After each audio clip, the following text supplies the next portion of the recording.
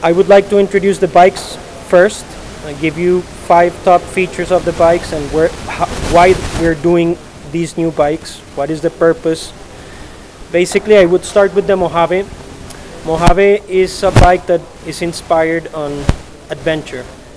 Um, we started seeing that our Renegade uh, customers were taking are taking our bikes for uh, you know rough, little bit rough terrains, uh, dirt, gravel, uh, adventure riding, and we said to ourselves, let's give the customer a bike that is ready for adventure from the showroom.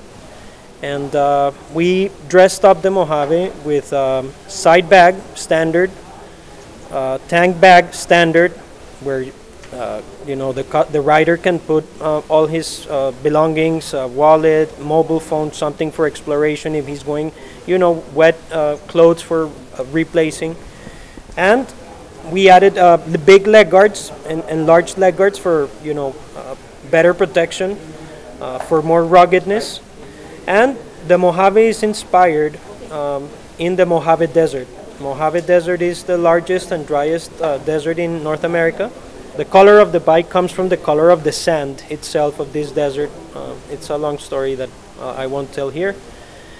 And we uh, have launched it um, nationwide.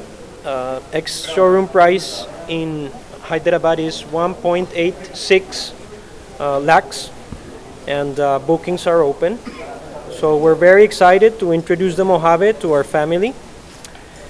And coming to the Commando Classic Commando Classic is basically inspired on open roads, giving an open road cruiser, giving our customer the possibility of taking the bike for long distance rides in a very comfortable position with uh, also luggage standard with a windshield, uh, tall windshield for wind protection, uh, protection from insects, dust.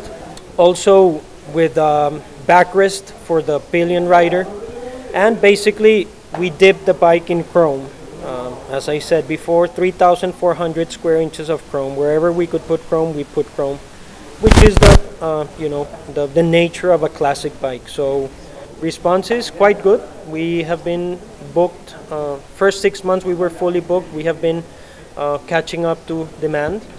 And um, so far we have um, we have dealers in 50 cities that are you know attending our customers we have a roar club which is a club only for members riding club for members which is uh, rebels on a renegade. So acceptance has been quite quite well. And um, we are continuing to expand improve our services customer service uh, services at the dealer operations.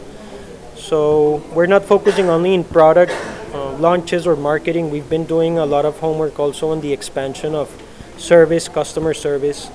Uh, last year in Auto Expo, we launched Renegade Commando, which is very well known for the matte moss green uh, version, and Renegade Sport S 300. So those two were launched last year. And now we're launching the Commando Mojave, which is really a version of the Commando, and the Commando Classic. So far, we have sold 10,000 units in first 10 months of operation which is a very, it's uh, above our expectation. We have not been able to meet the demand. Um, so we have also been enhancing our production capacity, our supplier capacity, so that we can um, increase the numbers, but increase them responsibly with a good after-sales service. We have been doing a lot of good work, but our dealers have been amazing. Uh, building the service, building the you know the, the technicians, the support for the customers. And now we are starting, you know, more aggressively in expanding the capacity, the numbers, um, marketing, advertising. These bikes are developed here in India for Indian market. So we're not selling these models in US. Um, these bikes are, I would call them entry level in price. Um, this kind of bike for 2 lakh. Uh, American market is about higher and we're, we're launching our electric uh, motorcycles, electric cruisers. So for US market, we're focusing on electric market moving forward.